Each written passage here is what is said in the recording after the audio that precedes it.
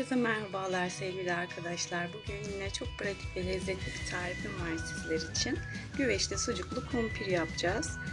Öncelikle yapacağımız miktarda e, patateslerimizi haşlayıp kabuklarını soyuyoruz ve tuzunu ekledikten sonra eziyoruz.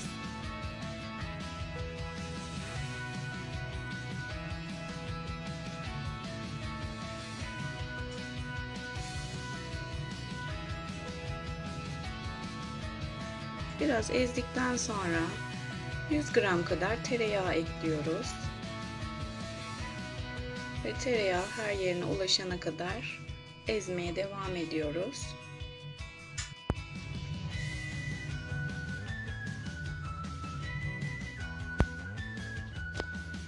Ben 200-250 gram kadar kaşar peyniri kullandım arkadaşlar. Bir kısmını içine koydum. Bir kısmını da üzerine koymak için ayırdım. Kaşar peynir rendesini de ekleyip güzelce karıştırıyoruz her yerine gelene kadar. Güveçlerimizin de altlarını yağlıyoruz.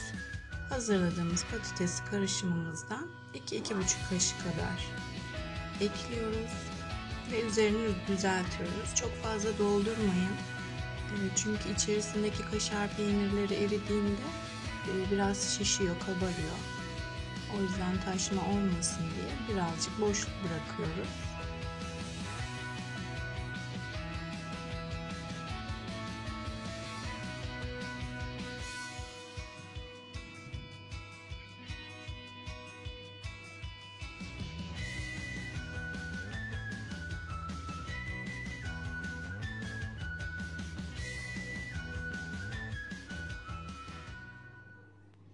Sucuklarımızı da ekliyoruz arkadaşlar.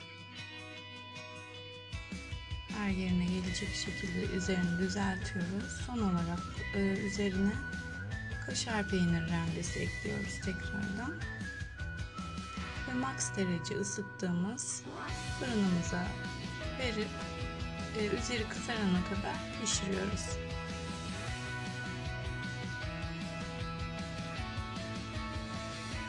Bu tarif porsiyonluk olduğu için e, e, sunumu da çok kolay oluyor. Dilerseniz borcama da yapabilirsiniz. Ben bazen tepsiye de yapıyorum.